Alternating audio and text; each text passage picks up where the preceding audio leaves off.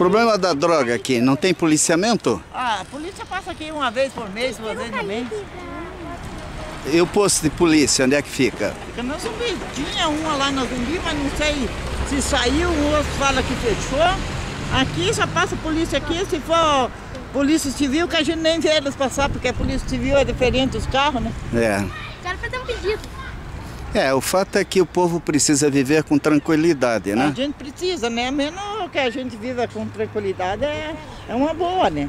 Aqui nós não temos perigo assim de frente de enchente, né? É. Mas é, outras coisas faltam, né? Aqui em cima do morro é difícil da enchente, né? É, aqui é difícil. Mas lá embaixo tem bomba, tem tudo, né? Olha lá, lá Vai tem. passar um carro de polícia agora, filho. Lá vem polícia? Ah, que bom! Ali, ó.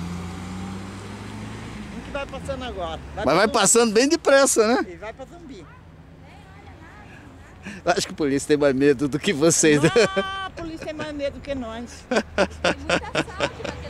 Dona Esmeralda, eu vou para uma reunião agora. Mais um último pedido. E eu quero fazer?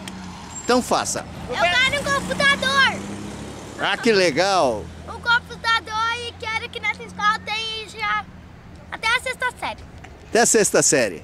Quer continuar aqui na escola?